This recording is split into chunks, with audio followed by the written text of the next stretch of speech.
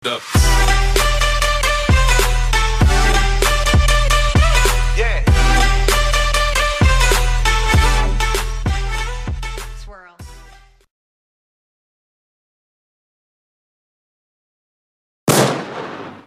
Monster for 66 bringing you another episode in the series Beauty Fish.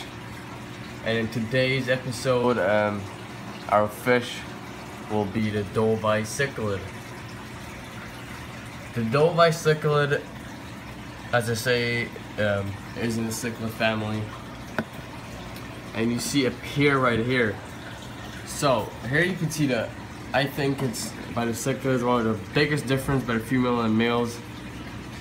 As you can see, the female has like a black line, a black dotted line, and the male has a full line with a bunch of dots on him. And he's darker. Um, these cichlids are, in my opinion and my experience, the most aggressive cichlids I've kept ever.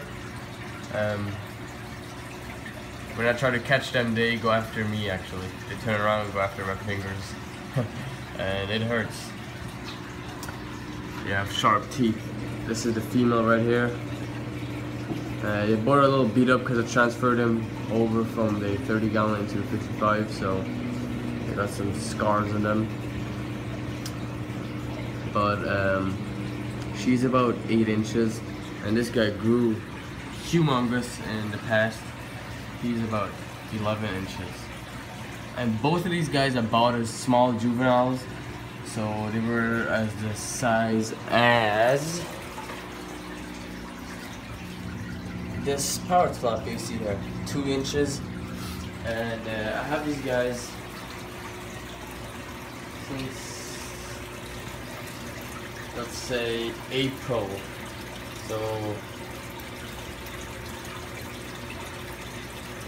No, what am I saying? I have these guys since was like February. Yeah, that's that's about program. About um February. Yeah. Um. So yeah, they grew pretty big, exceeding the male exceeded 10 inches in a couple of months, and um, yeah, these cichlids can get huge, and humongous. They can become up to um, over, I think, I don't know if I'm wrong, they, can become over two feet, that's what I think. And they're one of the largest cichlids out there, I think. You can see, both the blue and the male. Um, these are blue doviis if you would have a yellow Dovii, the male would look like the female, and the female would be like almost white. Um, the yellows are more common than the blues in my area here. So blue, this guy I got from my buddy BCC Cichlids. Check him out on Instagram. He um, he's working in a new store just opened in Newark called the Absolute Fish Place and um, yeah, very aggressive fish. And actually, I think they will need when full grown. Some people say they need like a 300 gallon. I think that's a little, a little big. And minimum size I would give them as a full grown pair is 125. As a full grown single one, I would give a 75. So um, yeah, that's today's beauty fish episode.